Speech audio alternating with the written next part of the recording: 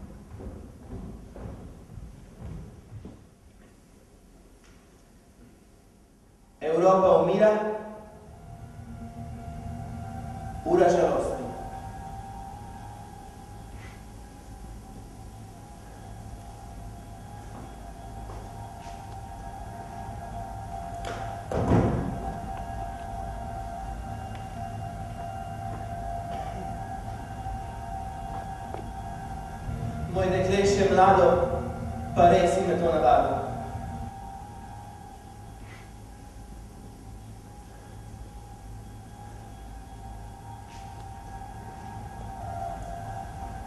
Jaz nisem s vami, jaz ne jočem solzami.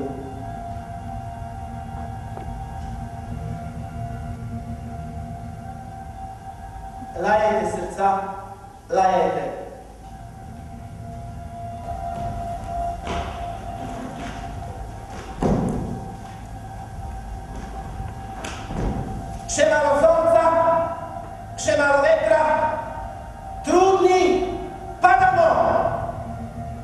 Še malo sonca, še